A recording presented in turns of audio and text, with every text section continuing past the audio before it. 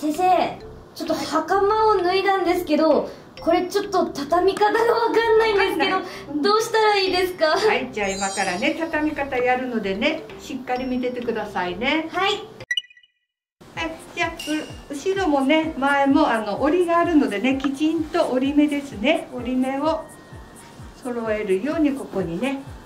で後ろの方が少し長いので上前よりもちょっと長めにしますねはい。したらここの折りをきちんと折ってください。はい。折りましたら下側のをねちょっと上に折って。はい。でこれをこっち側に折りますね。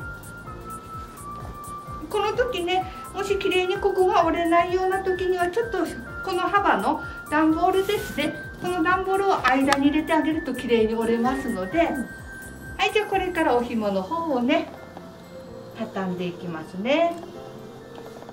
はい。じゃあ長い方のお紐ですね。これを。は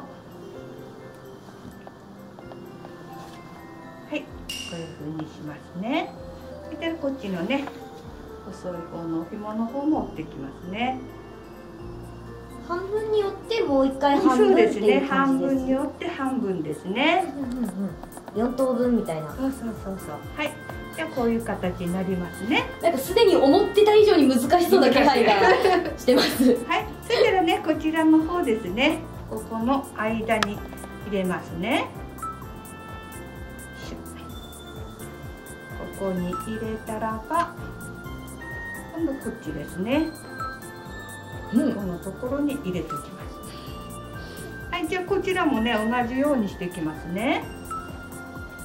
はいこのところに入れたらば戻してここに入れますね。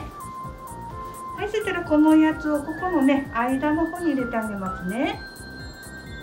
それからこれはちょっとね長いのでちょっと折ってください。はいじゃあこちらの方もこちらのね間に入れますね。はいじゃあこれもちょっと長いので折ってください。はいこういうような形でしまっててください。